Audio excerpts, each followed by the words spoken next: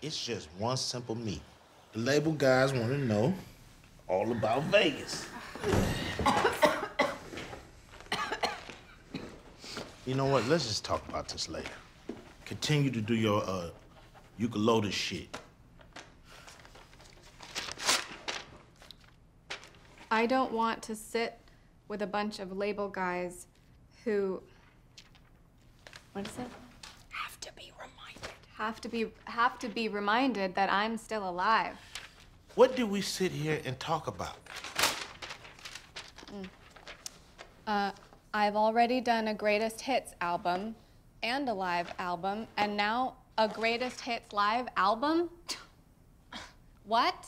Look, When I agreed to come back, what did you promise me? Huh? You said you was gonna listen to me this time.